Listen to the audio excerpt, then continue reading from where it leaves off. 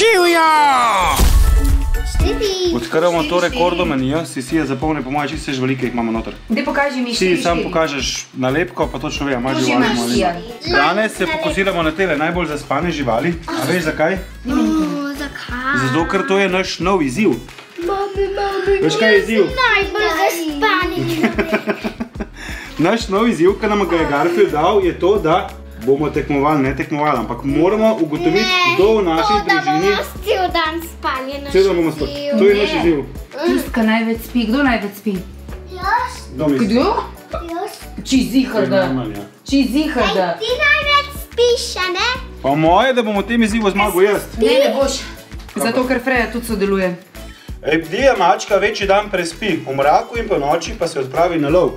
To je tako, kot mami, ki po noči ostane in gre v lov na hladilnik. Tu se oktobra zbere vsa družina in nastopi zimsko spanje. Kalne ure je 10 do 7 zvečer in um, zdaj poteka to preoblačenje otrok.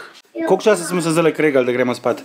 Mm, šestkrat. Danes je taka, da bomo mogli napisati tu, če dolg da spiš, potem ne, s- ne, nisi zmagal, če pa, potem pa si zmagal. Ja, kva pa?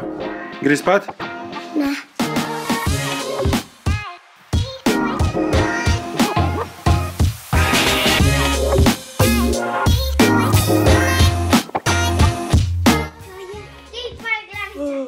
Ina je zaspala ob osmih, Sija je zaspala ob devetih. Pa so še kdaj lulekcija po noči? Ob treh, ura je zdaj pol osmih. Naj je hotel že ob pol šestih prideti k nam. Ej, kaj pa če bomo dobili zdaj od tatija slikico noter, kaj je najbolj zaspana žival? Okay, ta je pa številka 7. Ne, ta ti sploh ni To nazaj. Tati je v pojsli žival, Ne. pa spi.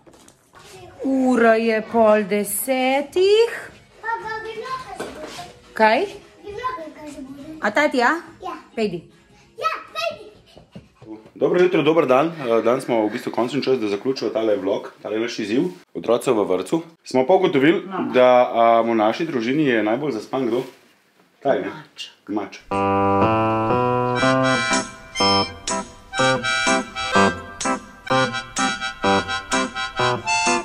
Če ne bi bilo mačke, bi jaz definitivno bil zmagovalec. Če vse- ne bi bilo otrok, bi ti zmagal tudi Frejo. Naša mačka spi dnevno, po mojem, tam na 20 ur, cca. Vam pride glik, kaj Vam pride takrat, kaj je za jesti, potem pa sploh ne veš, da jo imaš, ker jo pač ni. ni je, ne, pa besedno je ni. Vi pa lahko ugibate že za naslednji izziv in se potegujete za šparove bone v vrednosti 30 evrov, ki jih lahko unovčite v šparo oziroma interšparo. In sicer naslednji izziv, ki nam ga je Garfield Jaz sem zadal. tako vesela, jaz sem pač res tako sem srečna. Mi gremo prav v zavetišče za živali in um, ugant bo treba, koliko hrane skoti pa moli rabimo, da napolnimo vse posodice za vse živali tam. Uh, bom jaz poenostavil vse to skupaj, da boste razumeli, uh, koliko vreč hrane skoti oziroma moli potrebujemo, da nahranimo vse živali v Vse zavetišču. posodice, da napolnimo. Vse posodice, ja, pač te bojo site. Ja. V zavetišču gmajnice, tako da napiši od spodaj, ugibaj, se vidimo drug teden.